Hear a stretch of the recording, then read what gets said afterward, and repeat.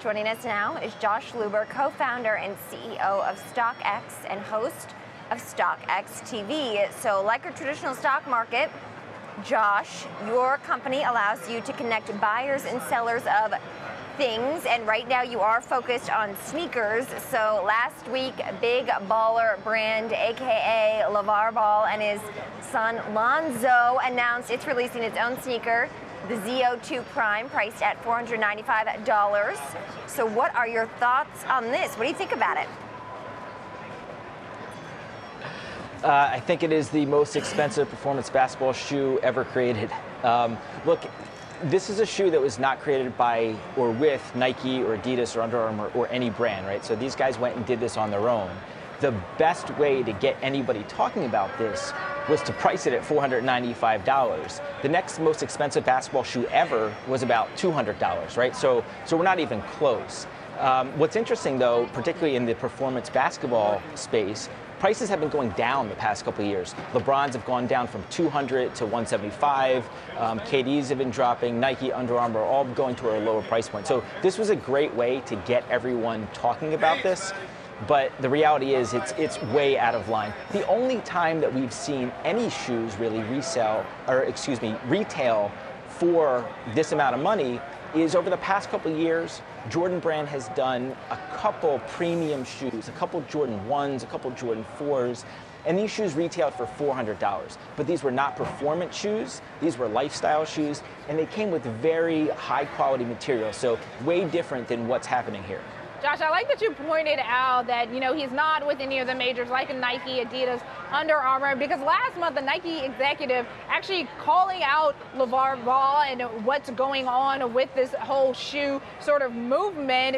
And if I may for a second quote this Nike executive saying the worst thing to happen to basketball in the last 100 years. That's specifically referring to the father and, of course, his push because there are three sons. Obviously, Lonzo Ball being the first one to really make it into the major league. He has another son that's 18 and another son that's 15 who actually just put up 92 points in a high school game. That is beyond impressive. But really, isn't the translation that Nike is mad? I mean, that's really what it is because what they're coming in doing is really disrupting the model. You say the only way to get people to talk about it was to make it at some astronomical price. They're probably not going to get for the shoe, but this is really a play player saying before a player that's supposedly supposed to go number three overall in the draft when that happens in June or July, excuse me, is going to disrupt the entire endorsement model of, hey, you make it to the major leagues, you get an endorsement deal with the Nike, Under Armour, that sort of company, and you put out a shoe under their company. Look, it's good for them. Good for them trying to disrupt the model. Good for them trying to do something on their own. Um, but right now, where they're at, coming out with a shoe that no one has seen, no one has seen anything about the, the design or the technology. All we've seen is, is pictures of a prototype, and at $495, um, there's still a lot, a lot of questions. And particularly when you talk about on the design and technology side, right? Again, this is supposed to be a performance basketball shoe. So on the design standpoint, there are a lot of similarities to pretty much every Kobe shoe ever, right? So this is the Kobe 6. The, the, the Zo 2 Prime looks very much like the Kobe 6 on the upper. This is the Kobe 8, right? It has almost identical eyelets to the Kobe 8. This is the Kobe 10. It has almost identical tongue to the Kobe 10. Right? This is the Kobe 11. It has almost identical midsole to the Kobe 11 and overall shape of the shoe. So on the design standpoint, look, you know, maybe they're copying, maybe they're borrowing. You know, there's a lot of things that people use similarly on, on uppers, but the sole may be most problematic across the board for big baller brands. If you take a close look at the sole, it looks almost exactly like the Adidas Boost sole, which is new innovative technology that Adidas is putting through almost all of their top shoes right now. And that right there, you know, could become very problematic. But since we haven't seen it, we haven't seen any specs on what the technology actually is in that, there's no guarantee that this is actually a performance shoe. What's really interesting, if you look at the description of the shoes on their website, right, and I'm, and I'm going to read this right here. It says an ortholite insole is embedded throughout the entire insole for maximum comfort. Saying a shoe has ortholite is kind of like saying a shoe has leather or rubber or plastic. Um, it's pretty much everywhere. It's not like it has Zoom or Boost or any of these other technologies. Um, So Incidentally, Josh- Ortholite's actually spelled wrong on the website, so it's it's a very interesting play from a design and uh, and tech standpoint. Okay, so Josh, you think this $495 price tag is expensive when there are still a lot of unknowns out there, but there are shoes that go that are sold on your particular platform that are well north of $495. So give us a range. I mean, what is the most expensive shoe right now priced in real time on your website, or at least give us a range of what people can expect if they go to StockX? Sure. Look, if you go into the resale market right now, I mean, shoes range anywhere from a couple hundred to tens of thousands of dollars. Um, right now, two of the biggest shoes or most recent big releases is um, this right here is the uh, Adidas Yeezy 350 V2 White. This shoe resells for about $500 right now. Right. On the other hand, the last big Nike release is uh, is this shoe, which is called the Jordan 4 Kaws. It's a collaboration between Jordan Brand and the artist Kaws, and this sells for about $1,600 right now. What's interesting though, if you're comparing the, the big baller brand shoe at 495 versus some of these that resell for over $1,500, the big difference is that the big baller shoe is retailing for 495.